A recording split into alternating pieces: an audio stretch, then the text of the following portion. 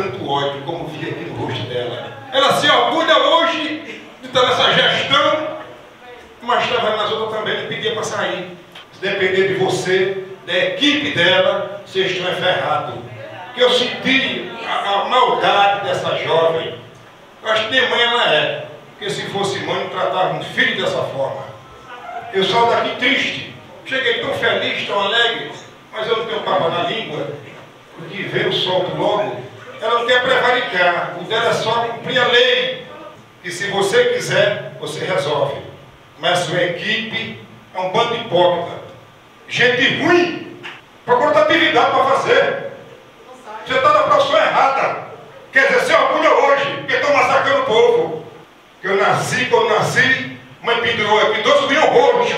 Esse é o menino homem. Esse tem cunhão roxo. E não há para ninguém. E não há para ninguém. Enfrento todos, sem medo de errar. Eu venço tudo.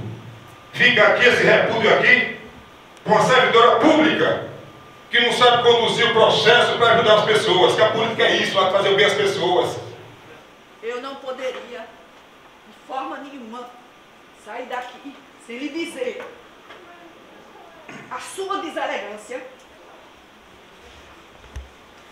a sua falta de sensatez, a falta de respeito, uma servidora pública. Não foi isso que a Lidiane passou aqui, não. Essa mulher é uma mulher de respeito. Ela se dedica como ninguém ao serviço público.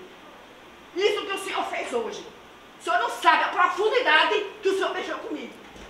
Uma menina que se dedica ao trabalho como ninguém. Que ela hoje, referência como servidora. Ela se dedica para educar o povo. Deixa para educar o povo. Você não me abala não. Eu não Quando eu cheguei, a disseram, cuidado que aquela mulher, aquela mulher que cria. Me fala que você também, eu lhe conheço também. Você é do mesmo grupo. É uma coisa só. Que eu lhe conheço também. Você também eu conheço. Eu vou só terminar. Se a eu falo mais coisas aqui dentro. Eu falo mais. Se é ruim para vocês.